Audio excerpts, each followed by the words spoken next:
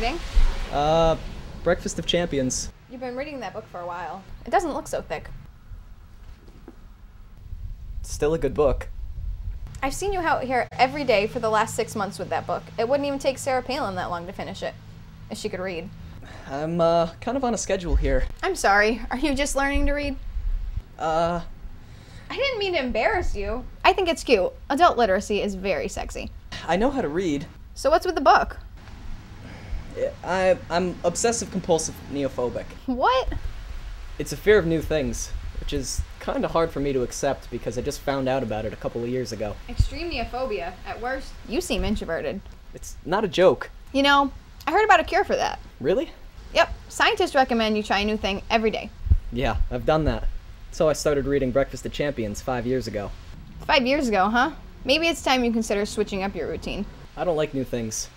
You do the same thing every day? Yep. So what do you do around 6 o'clock? At exactly six o'clock, I begin to prepare my grilled cheese sandwich for dinner.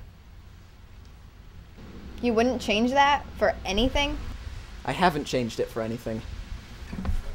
So what if you had a date tonight? I need to get back to my book. You need to get back to that book, like I need to eat dinner alone tonight. So how about Okay. I didn't even ask you yet. Meet me at the town hall at 6 tonight. I, I, I didn't, uh, I'm thinking Chinese food. We can eat it in the park.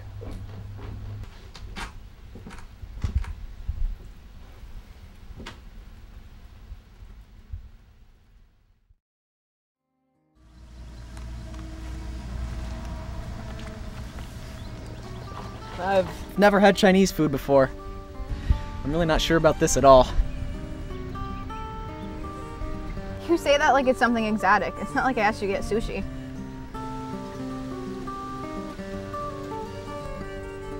Or octopus. Uh, I don't eat, I don't eat food with sauces. It's not really a sauce. It's more of a creamy glaze. Just try it.